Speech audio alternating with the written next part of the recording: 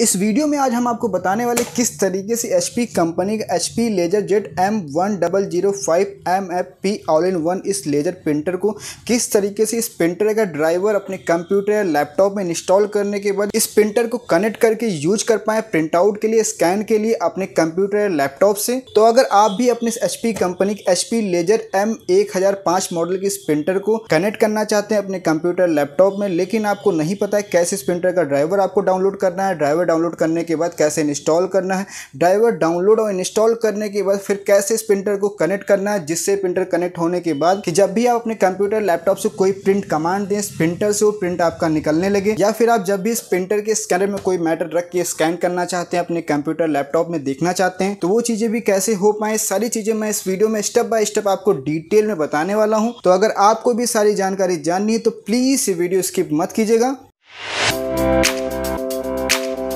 तो यहाँ पर हमारे पास HP कंपनी का H P LaserJet M one double zero five M F P model का ये प्रिंटर जो कि ऑल इन वन फीचर के साथ ही हमारा प्रिंटर आता है। इस प्रिंटर को मैं कनेक्ट करके अपने कंप्यूटर लैपटॉप में आपको दिखाऊँगा कि कैसे वहाँ पे इस प्रिंटर को कनेक्ट करना है। कनेक्ट करने के बाद इस प्रिंटर के ड्राइवर को कैसे डाउनलोड करके कैसे इंस्टॉल करना स्टेप बाय स्टेप मैं डिटेल में इस वीडियो में आपको बताने वाला हूँ। लेकिन उससे पहले यहाँ पे आपका प्रिंटर ऑन होना चाहिए। प्रिंटर में कुछ पेपर आप लगा दीजिएगा। उसके बाद प्रिंटर की यूएसबी केबल एक साइड आपके आपके प्रिंटर में कनेक्ट होनी चाहिए, दूसरे साइड आपको वहाँ पे कनेक्ट कर लेनी है, जहाँ भी इस प्रिंटर का जो है आपको ड्राइवर इंस्टॉल करना है। ड्राइवर इंस्टॉल करने से पहले कैसे आपको ड्राइवर डाउनलोड करना है, चलिए हम आपको ले चलते हैं अपने लैपटॉप के स्क्रीन पर फिर मैं वहाँ पे स्टेप बाय स्टेप जो स्टेप आपको बताने वाला हूँ, सेम वही स्टेप को फॉलो करके आप भी इस प्रिंटर को बहुत ही आसानी के साथ कनेक्ट कर सकते हैं। तो यहाँ पर अपने लैपटॉप की स्क्रीन पर आ चुके हैं तो यहाँ पे सबसे पहले आपको अपने प्रिंटर का ड्राइवर डाउनलोड कर लेना है। उसके लिए आपको अपने कंप्यूटर, लैपटॉप में इंटरनेट कनेक्शन कनेक्ट कर लेना है। फिर आप कोई भी ब्राउज़र ओपन कर लीजिएगा। ब्राउज़र ओपन करने के बाद यहाँ पे आपको टाइप करना है HP. LaserJet M one double zero five driver download. ये टाइप करने के बाद आपको इंटर प्रेस कर देना है। फिर यहाँ पे आपको कई सारी वेबसाइट के लिंक यहाँ पे शो कर जाएँगे। यहाँ पे आपको उस लिंक पे क्लिक करना है जो मैं आपको बता रहा हूँ। यहाँ पे support dot H P dot com वाले लिंक पे ही क्लिक करिएगा। ये ऑफिशियल वेबसाइट है एच पी की। इस पर आप राइट क्लिक करके न्यू टैब पे भी ओपन कर सकते हैं इसको। अब ये ड्राइवर का आपका पेज खुल चुका है आपके इस प्रिंटर का। जहाँ पे आपको आपके प्रिंटर का मॉडल नंबर शो हो जाएगा। फिर यहाँ पे चूज़ से डिफरेंट प्रोडक्ट का ऑप्शन शो हो जाएगा। इसके नीचे डिटेक्टेड ऑपरेटिंग सिस्टम यहाँ पे शो हो जाएगा। यहाँ पे जो भी आपके लैपटॉप में विंडोज़ पड़ी होगी, वो विंडोज़ ऑटोमेटिक डिटेक्ट करके उसका ड्राइवर आपको शो कर देगा। अगर आप किसी और ऑपरेटिंग सिस्टम के लिए ड्राइवर डाउनलोड करना चाहते हैं तो यहाँ से चूज़ से डिफरेंट ओएस पे क्लिक करके आप उस ओएस का जो है ड्राइवर डाउनलोड कर सकते हैं। जहाँ पे सारे जो है वर्जन दिए हैं विंडोज़ के। तो यहाँ पे अपने हिसाब से चूज़ कर लीजिएगा, जिस विंडोज़ में आपको इस प्रिंटर का ड्राइवर इंस्टॉल करना है, उसी विंडोज़ का आपको ड्राइवर डाउनलोड कर लेना है। मुझे यहाँ ऑपरेटिंग सिस्टम चेंज नहीं करना है, क्योंकि मेरा ऑपरेटिंग सिस्टम ऑटोमेटिक डिटेक्ट कर लिया यहाँ पे। उसके बाद यहाँ पे आपको ड्राइवर वाले ऑप्शन पे जाना है। यहाँ पे देख लीजिए H P LaserJet M one double zero five full solution यहाँ पे आ गया है। यहाँ पे राइट हैंड पे डाउनलोड का एक ऑप्शन मिल जाएगा। इस पर राइट क्लिक करके न्यू टैब पे भी ओपन कर सकते हैं या उसी पे भी क्लिक कर सकते हैं। जैसे इसको हम क्लिक करेंगे, यहाँ पे ये ड्राइवर आपका डाउनलोड होना चालू हो जाएगा। ये ड्राइवर हमारा 120 MB का करीबन ये ड्राइवर है। ये ड्राइवर हमारा डाउनलोड हो चुका है तो इसको हम सो इन फोल्डर करके कॉपी करके डेस्कटॉप पे पेश कर लेते हैं या फोल्डर बना के इस ड्राइवर को रख सकते हैं। बाद में भी ड्राइवर आपका काम आने वाला है। जब कभी अगर दोबारा से आपको इंस्टॉल करने की ज़रूरत पड़ी तो। अब यहाँ पे ये प्रिंटर का ड्राइवर तो हमारा सक्सेसफुली डाउनलोड हो चुका है। अब हमारा इंटरनेट कनेक्शन का काम खत्म हो चुका है। तो आप चाहे इंटरनेट कनेक्शन डिस्कनेक्ट कर सकते सकते हैं या कनेक्ट रहने देते हैं उससे कोई मतलब नहीं है। अब यहाँ पे आपको अपने प्रिंटर की यूएसबी प्रिंटर की केबल आपको अपने लैपटॉप में कनेक्ट कर लेनी है या जिसमें भी आप इंस्टॉल कर रहे हैं इस प्रिंटर का ड्राइवर उसमें आपको प्रिंटर की केबल कनेक्ट कर लेनी है। हमने अपनी प्रिंटर की केबल लगा दी है लैपटॉप में। और प्रिंटर आपका ऑन होना चाहिए। फिर उसके बाद इस ड्राइवर को आपको डबल क्लिक कर देना है। डबल क्लिक जैसे करेंगे, यहाँ पे आपको फिर यस कर देना है। यस करने के बाद इस तरह का जो है आपके सामने ऑप्शन आएगा। फिर यहाँ पे थोड़ा सा वेट करना है आपको। अब यहाँ पे आपको इंस्टॉल वाले ऑप्शन पे क्लिक कर देना है। इसके बाद आपको आई एक्सेप्ट पे टिक करके फिर नेक्स्ट कर देना है। अब यहाँ पे इंस्टॉलिंग का प्रोसेस आपका चल रहा है, तब तक आप वेट कीजिएगा जब तक आपका नेक्स्ट ऑप्शन नहीं आ जाता है। और ध्यान रहे, यहाँ पे प्रिंटर आपका ऑन होना चाहिए।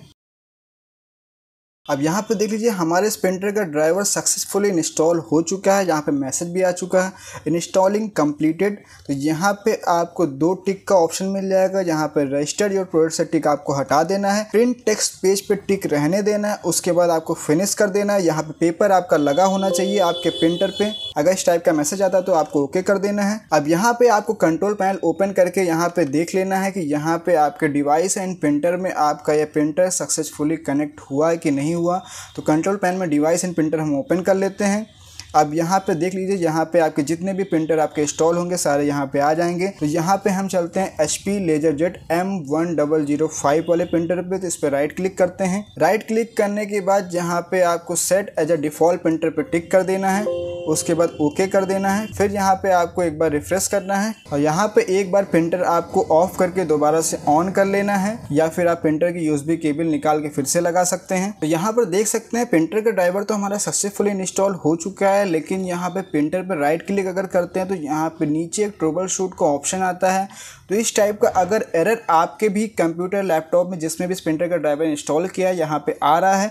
तो मैं जो आगे स्टेप बताने जा रहा हूँ, उसी स्टेप को फॉलो करिए, ये प्रॉब्लम रिजॉल्व हो जाएगी। अगर आपका सक्सेसफुली प्रिंटर यहाँ पे रेडी हो चुका है और यहाँ पे लास्ट में फिनिश करने के बाद प्रिंट टेक्स्ट पेज निकल आता है तो प्रिंटर आपका सक्सेसफुली कनेक्ट हुआ है।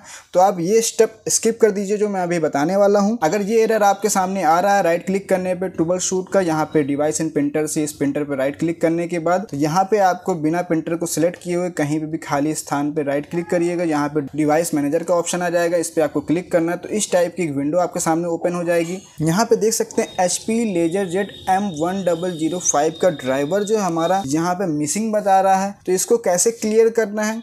तो इस पर आपको राइट क्लिक करना है अपडेट ड्राइवर पे क्लिक करना है।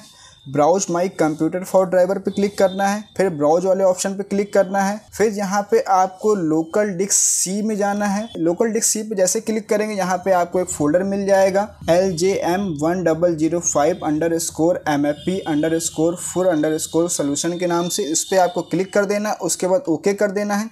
अगेन यहाँ पे नेक्स्ट पे आपको क्लिक कर देना है। यहाँ पे ये ड्राइवर जो मिसिंग आपका बता रहा था, ये ड्राइवर आपका यहाँ से सक्सेसफुली जो है उठा लेगा यहाँ से। अब ये आप सोच रहे होंगे सी ड्राइव में ये फोल्डर कैसे आया? ये सी ड्राइव में फोल्डर जब हम इस ड्राइवर के सेटअप को इंस्टॉल कर रहे हैं तो इसकी एक फ़ाइल स्ट्रैक होकर सी ड्राइव में ऑटोमेटिक फोल्डर क्रिएट करके वहाँ पर ड्राइवर इसका सेव हो गया था। तो यहाँ पे देख लीजिए ड्राइवर जो हमारा मिसिंग था, ये ड्राइवर हमारा क्लियर हो चुका है। तो इसको हम बंद कर देते हैं। अब यहाँ पे कंट्रोल पैनल में जो डिवाइस एंड प्रिंटर का हमने जो ऑप्शन खोल रखा था, यहाँ पे आप रिफ्रेश करते हैं। तो यहाँ पे देख लीजिए, ये एच पी एक हज़ार पाँच का जो हमारा प्रिंटर था, यहाँ पे सक्सेसफुली यहाँ पे ग्रीन टिक हो चुका है। यहाँ पे सच या डिफ़ॉल्ट हमारा टिक था तो यहाँ पे टिक किया था, यहाँ पे ग्रीन टिक हो गया है। अब यहाँ पे देखिए ट्रूबल शूट का ऑप्शन भी हट चुका है। एरर का जो ऑप्शन आ रहा था ट्रूबल शूट के बगल येलो कलर का, और यहाँ पे और सारे ऑप्शन भी शो करने लगे स्टार्ट स्कैन वगैरह। अब यहाँ पे आपको प्रिंटर प्रॉपर्टीज़ में जाके यहाँ पे एक प्रिंट टेक्स पेज पे क्लिक कर देना है, जिससे आपको ये क्लियर हो जाए कि आपके इस कंप्यूटर से जब हम कोई प्रिंट आउट देते हैं तो हमारे प्रिंटर से वो प्रिंट आउट निकल रहा है कि नहीं निकल रहा है, जैसे आप मूवमेंट सुन सकते होंगे यहाँ पे ऑडियो में। प्रिंटर से हमारा ये प्रिंट आउट टेक्स्ट पेज का निकल आया है।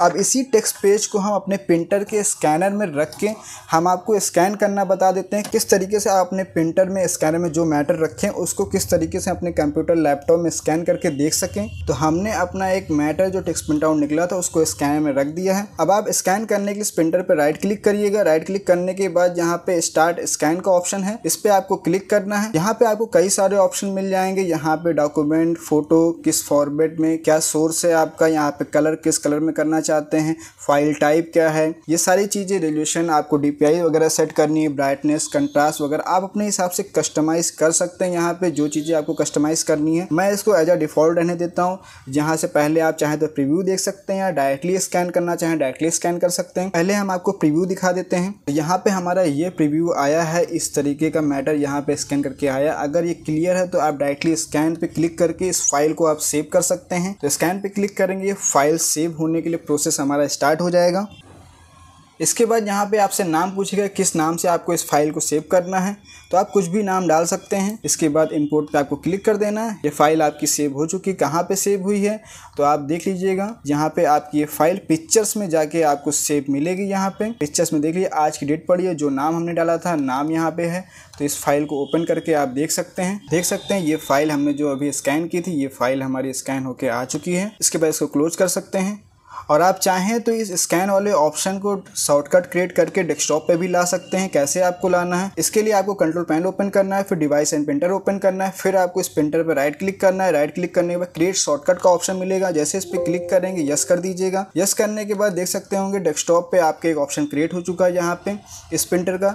इस पर राइट क्लिक करेंगे तो यहीं से डायरेक्टली स्कैन कर सकते हैं। या स्कैन करने के लिए कोई भी अदर सॉफ्टवेयर भी आप डाउनलोड कर सकते हैं नेट से। तो आई होप आपको इस वीडियो में क्लियर समझ में आ गया होगा किस तरीके से हम इस एचपी कंपनी के H P LaserJet M one double zero five multifunction printer को किस तरीके से अपने कंप्यूटर लैपटॉप में कनेक्ट करने के बाद इस प्रिंटर का ड्राइवर कैसे डाउनलोड करना है डाउनलोड करने के बाद कैसे इंस्टॉल करना है, और डाउनलोड इंस्टॉल करने के बाद कैसे हमें set as a default printer करना है, कैसे स्कैन करना है, कैसे प्रिंट आउट देना है। प्रिंट आउट देने के लिए भी सेम स्टेप है, कोई भी डॉक्यूमेंट आप ओपन करेंगे ओपन करने के बाद यहाँ पे आपको सिंपल कोई भी मैटर अगर टाइप होगा टाइप करने के बाद प्रिंट का कमांड होता है control P control P press करेंगे या प्रिंट वाले ऑप्शन पे जाएँगे, जैसे वहाँ पे प्रिंट का ऑप्शन आपके सामने आएगा तो वहाँ पे प्रिंटर का नाम आपके सामने शो कर जाएगा। जैसे यहाँ पे कोई भी मैटर अगर टाइप किया हमने तो यहाँ पे हमने कीबोर्ड से कंट्रोल पी जो है प्रेस किया। तो यहाँ पे देख सकते हैं प्रिंटर में हमारा प्रिंटर का नाम शो कर गया और रेडी यहाँ पे लिखा हो मतलब प्रिंटर हमारा कनेक्ट है हमारे इस लैपटॉप से। उसके बाद सिंपल आपको प्रिंट पे क्लिक कर देना है। आपका जो भी प्रिंट आउट रहेगा, चाहे वो पीडीएफ चाहे डॉक्यूमेंट वो प्रिंट आउट का कमांड आपके प्रिंटर में जाने के बाद प्रिंट आउट आपका निकलने लगेगा आपके प्रिंटर से। जैसे मेरा प्रिंट आउट अभी निकलने लगा प्रिंटर से। और इन सब के बावजूद भी अगर आपका कोई क्वेश्चन है तो हमें कमेंट बॉक्स में कमेंट करके पूछ सकते हैं। तो अगर इस वीडियो से आपको थोड़ा सा भी सपोर्ट मिला हो तो हमारे चैनल को सब्सक्राइब करके ज़रूर हमें सपोर्ट करिएगा, जिससे हम आगे भी इसी तरीके से और अच्छे अच्छे और नई नई वीडियो चैनल के माध्यम से आप सभी लोगों तक पहुंचाते रहें। और आप घर बैठे वो भी बिल्कुल फ्री में हमारी वीडियो को देख के आप अपनी प्रॉब्लम को रिजॉल्व कर पाएँ, या फिर आप अपनी नॉलेज को और इंक्रीज कर पाएँ। तो मिलते हैं अगली वीडियो में एक नए टॉपिक के साथ। तक लिए टेक केयर बाय बाय